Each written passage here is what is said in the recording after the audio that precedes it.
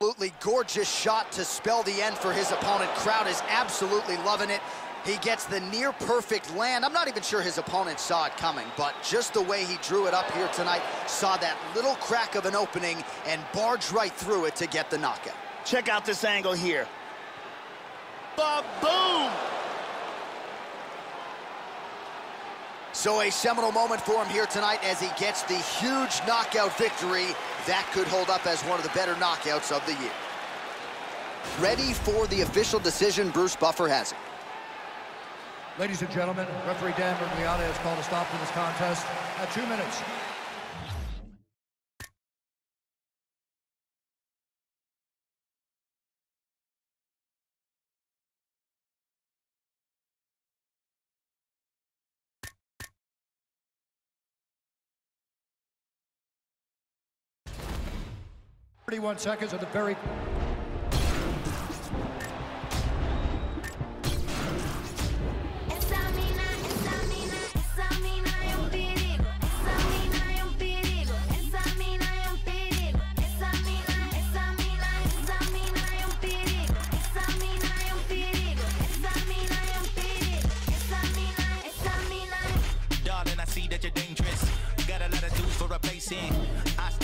true to the statements. We should go out and enjoy the acquaintance. Wanna give you the keys to the cars that I don't have when I built you a four. Take any charge that they give you in court.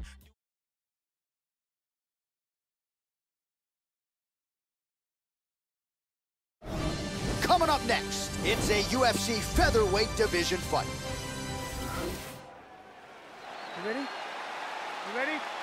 All right, so this highly anticipated stand-up only event is now underway. Friendly reminder on the rules and hopefully you play by them.